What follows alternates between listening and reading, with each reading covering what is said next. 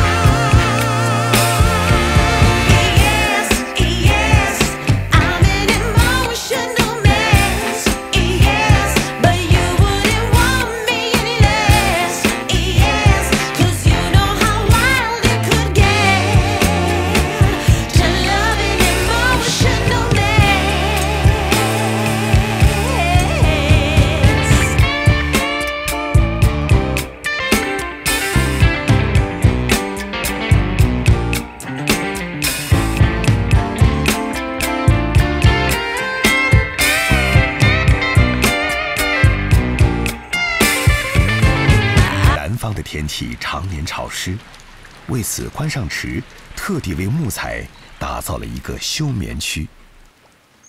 上面我们专门是用铁的顶，太阳一晒，它温度就高。温度高，那个风一吹，它的树枝就容易去掉。现在我们做那个演奏广东音乐的提琴，因为它的定弦要低一点，所以它整个琴弦对整个琴形成的压力张力就会少一点。嗯，木纹呢，我想啊，就算年轮，不要选太密的。嗯，太密它震荡又要难一点。嗯，我们选这些中中的，你看好不好？嗯，好。那还有底板呢？嗯，底板我也想选些不要太硬的。让它整个震动起来容易一点点。哦，就是选那种偏细一点的那种纹，那种老虎纹，它有可能就软一点点那种。对对对，不要太硬的枫木。反正先试一试，哎，好吧。穿越大半个地球的木材，历经三十年的清新修养、呼吸吐纳，到达而立之年的成熟稳定，一把琴的生命刚刚开始。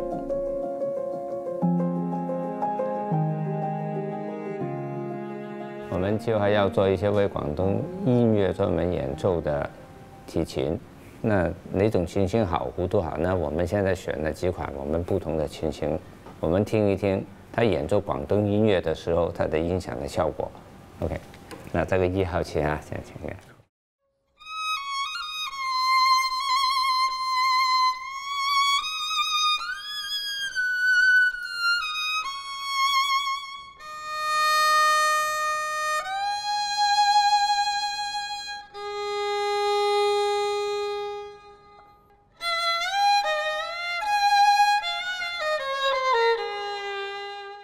我从演奏者的角度来讲啊，其实第一把的声音呢，它那种甜美的韵味是比较符合我们对广东音乐演奏的一个特性的。我从演奏者还是会倾向于第一把提琴。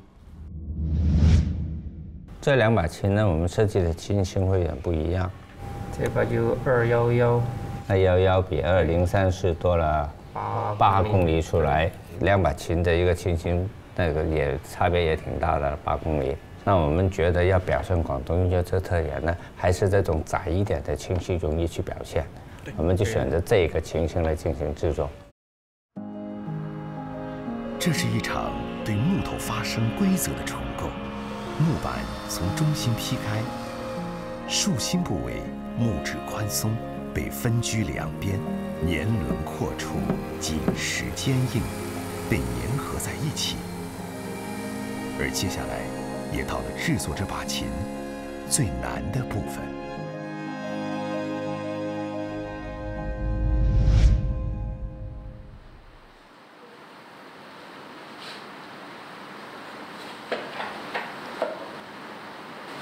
做这块面板，你把它整个弧度做得怎么好，里面的厚薄做得怎么样合理，对你整个琴的声音的档次是最重要。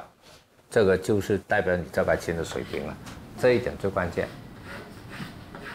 每一把琴都有自己的灵魂，一磨一铲的碰撞之间，正是制琴师与木头的灵魂对话。在琴体上面的什么位置、多长，就会很直接的影响声音，这个是第一。第二呢，开这个 F 孔的刀法怎么样？也是工艺上水平的一个衡量标准。国际提琴制作比赛音孔的这个开也是一其中的一个评分标准。每一把琴都有自己的音调。一块面板做好之后，透过光去判断面板厚薄的均匀度，用听到的叩击声和手指感受到的振动频率。去分辨面板的音调，这是制琴师和每一把提琴之间的摩斯密码。那个物体它好像它也有灵感，它会告诉你，那你这样弹一下，我给你什么回应？你敲一下听心，它又给你什么回应？就两者的结合就比较密切了。这样，这种敏锐的听觉，是关尚池在无数现场音乐会中习得。在两千多张收集的唱片中求得。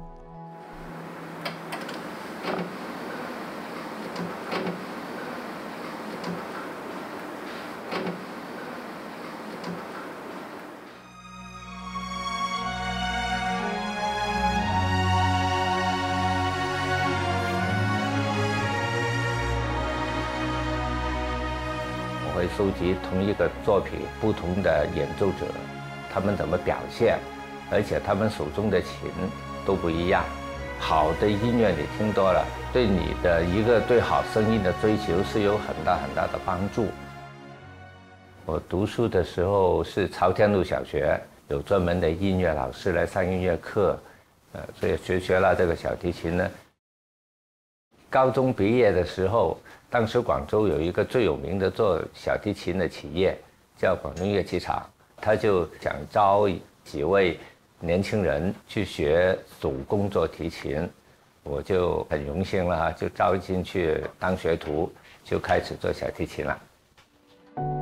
这是小提琴的嗓子，琴音的发声之口，这也是制琴师的签名。从这个小孔中。可以窥见一把琴的派系及手工，难以复制和抄袭。靠着这份象征品质的签名，关上池觅得知音，以情会友。誒，關 Sir，係點？有隻琴，哦，我俾你整。咩問題咧？調音嗰個嘢。哦，琴準。係。哦，我睇睇唔緊要。斷咗呢個。哦，個隻琴準斷咗，係要換一隻咯。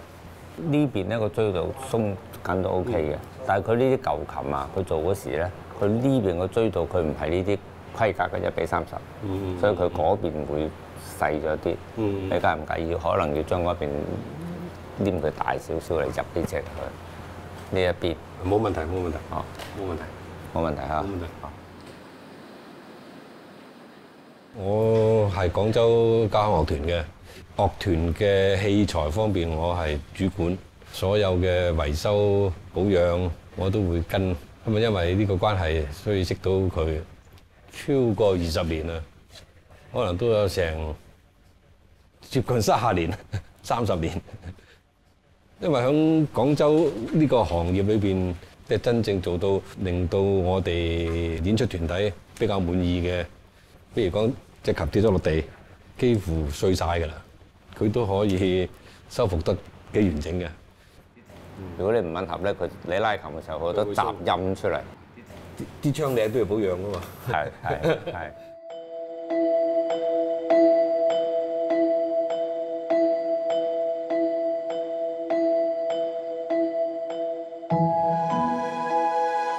琴音绕梁，若没了知音。总归寂寞难解，琴师造琴，若缺了奏者，仍是孤掌难鸣。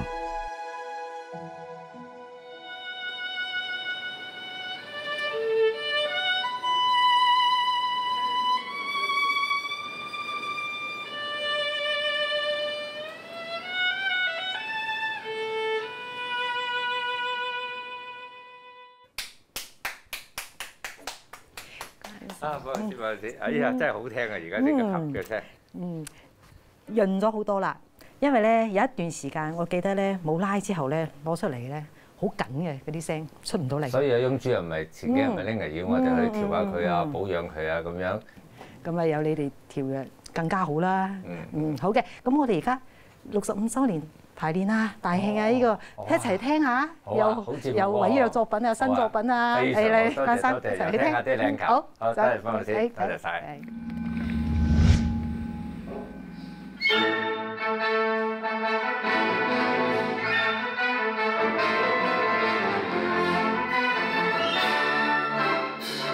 乐团的排练场是工作重地啊，排练期间是不允许外人来参观的啊。关先生，我们认识很多年了啊，是超过应该二十年以上的朋友吧，应该来讲，我就邀请他来听一下我们这部世界首演作品的这个排练的情况。一把提琴在制琴师手中获得生命，在演奏者手中活出价值，以琴为媒，制琴师与演奏者这一刻达到了同频共振。拉琴的演奏家，你给他一种什么样的力度，什么样的表现力，然后他发出一种你要的声音，那种感觉，那种表现力，他就是随着那个人嘛，人情合体嘛。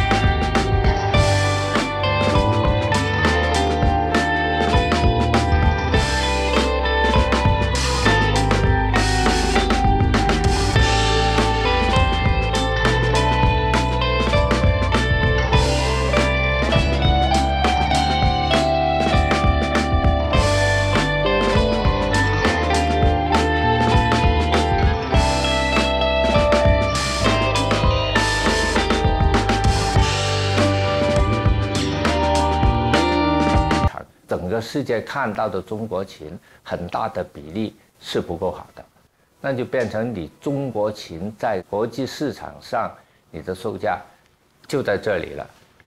全国乐器协会啊也提出这个口号，就是我们要把提琴大国迈向提琴强国。要完成提高中国提琴制作的国际地位的梦想，还需要一代代人的加持。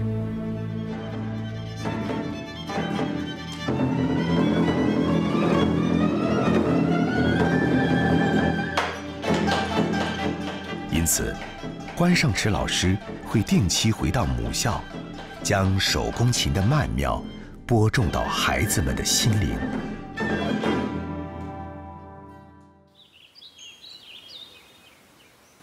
佢呢度個角度嘅噃，你要控，咁啊唔得，你就整下佢，試下佢，整到刨到為止。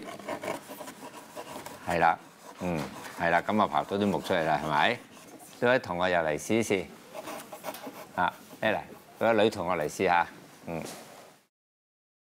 但我只能說，我們整個提琴製作的水平提高了。比如說，我們原來廣州的琴賣一百塊一個琴，但現在我們水平提高了，我能卖到一百二了。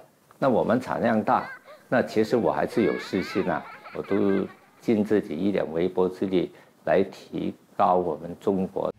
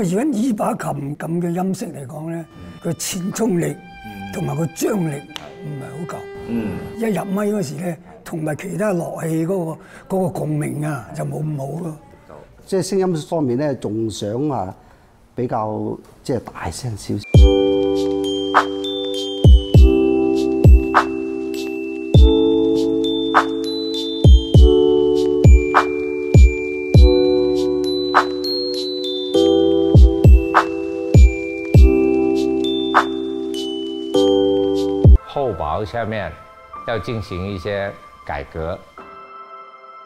那还有面板里面的低音梁，让它把这个传送的速度更加加快，符合用广东音乐的这种调弦特点出来的声学的要求。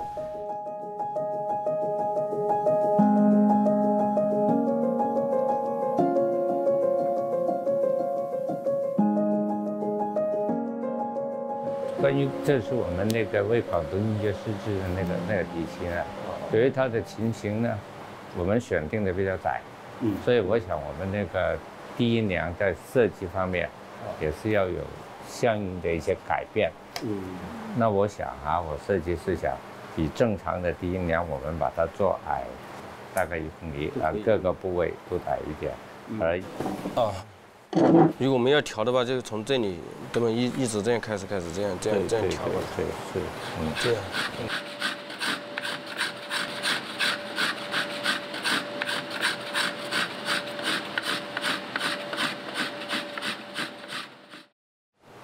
看起来是可以的，就是说也是比较均匀，哎，比较均匀，比较顺滑，顺滑，就是还要再看两头啊。嗯嗯。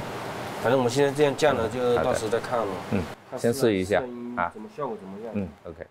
根据专家们的意见调整之后，关老师再一次邀请他们为这把倾注了心力的琴试音。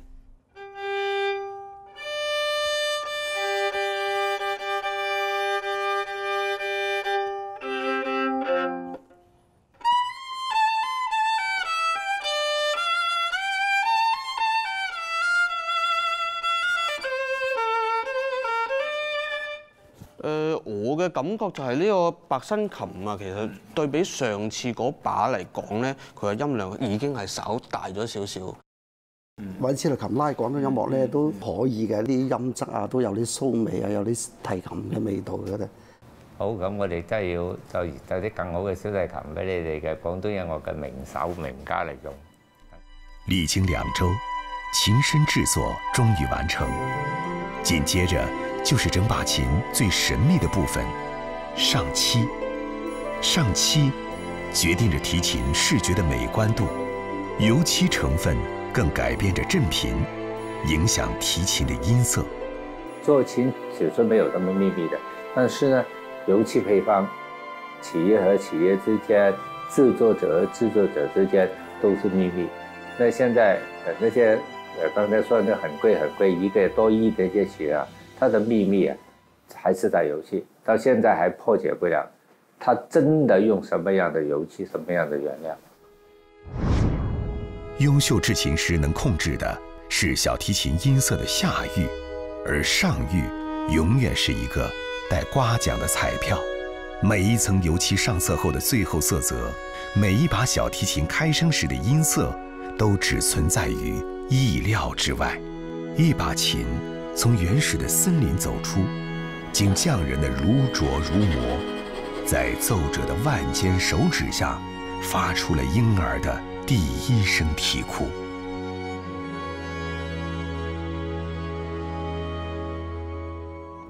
做这个广东音樂田，其实也是我们一步一步走的前进的道路上面的一小步。那以后我们很多演奏家，他们也会提出他们对于音色的要求。半生年岁，以琴载道；年近古稀，以琴会友。光陰從銼刀中流逝，琴品从人品中出现。弓弦与琴声碰撞一刻，拉出的是胸中的河岳山川，奏响的是心底的浩瀚苍穹。弦间游吟中，琴亦是我，我亦是琴。这个匠人精神不一定你带手工做做做做这个东西，任何领域，我觉得都是需要这种精神去把它做好，这个是很重要，的